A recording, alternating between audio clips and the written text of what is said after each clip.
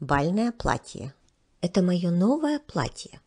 Это платье специально сделано для соревнований по бальным танцам. Я сделала это платье сама.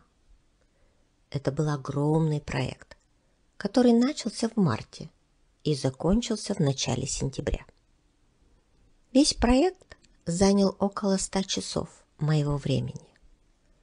В марте я заказала ткань в магазине – который находится в Англии. Это специализированный магазин, в котором продается все необходимое для танцевальных платьев и костюмов. Сама я никогда не была в этом магазине, но смогла сделать свой заказ по интернету. После заказа пришлось ждать какое-то время, пока посылка из Англии была доставлена.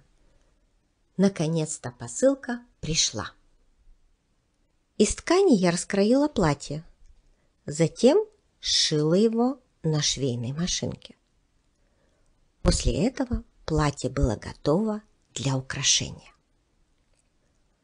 Завершающим этапом проекта было прикрепить на платье почти 2000 кристаллов. Каждый из этих кристаллов я прикрепляла вручную – руками.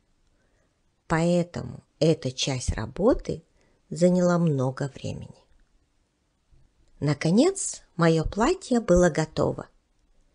Через две недели я надену его в первый раз.